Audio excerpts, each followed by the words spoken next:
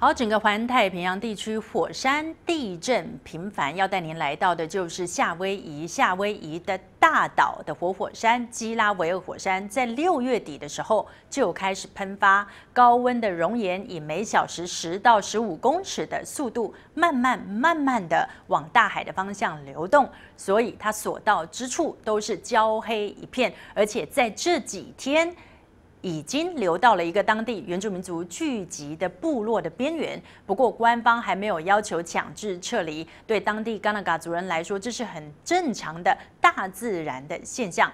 其实基拉维尔火山从一九八三年就开始不时的喷发。根据报道，最近喷出的岩浆是一个新的火山口喷出来的，岩浆慢慢的流动，形成了一条大约五十米宽的火山岩浆带。开始的往低处流动。十月二十八号这一天，已经是它最接近人类居住的地区。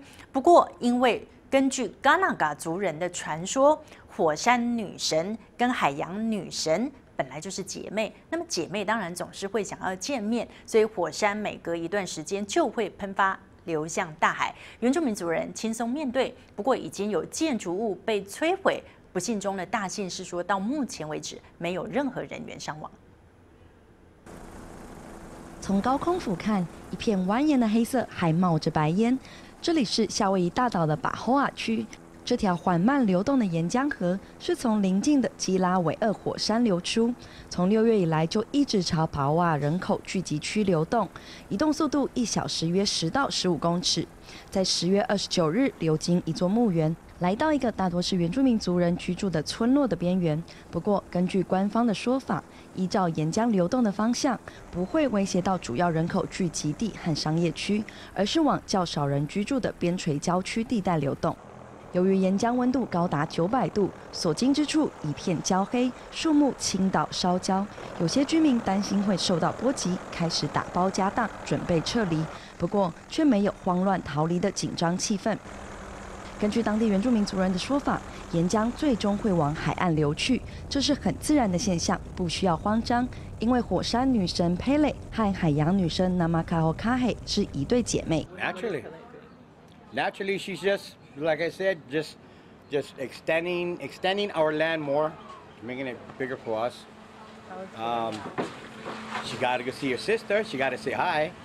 You know how family are, yeah. so it's all good. She she's doing what she got to do.